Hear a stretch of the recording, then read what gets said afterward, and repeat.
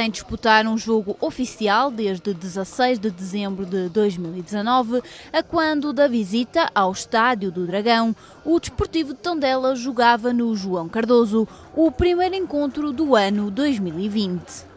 Pela frente encontrava-se a formação do Gil Vicente, que à partida para o encontro estava na 12ª posição, a um ponto dos Auriverdes. Os Beirões tiveram um excelente início de encontro, já que aos 5 minutos estavam na frente do marcador. Canto batido na esquerda por Jonathan Toro e Ricardo Alves, ao primeiro poste, desviou para o fundo das redes. Na sequência de nova bola parada, o Tondela voltava a criar perigo, com João Murilho a desviar e ao segundo poste, Denilson Júnior acabou por rematar muito por cima. Os homens de Barcelos responderam aos 11 minutos com Sandro Lima a rematar cruzado para defesa atenta de Cláudio Ramos.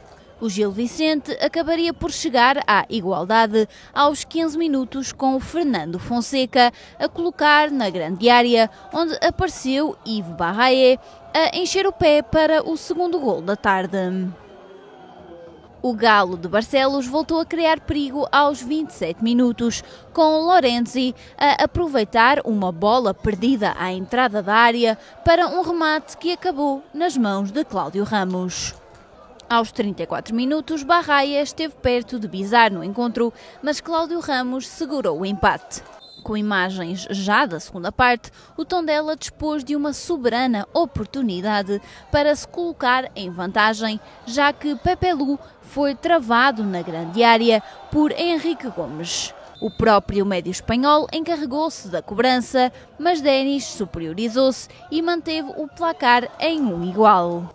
Numa segunda parte com poucas oportunidades, a última digna de registro deu-se aos 69 minutos, com Romário Baldé em posição privilegiada, a permitir a defesa de Cláudio Ramos com os pés.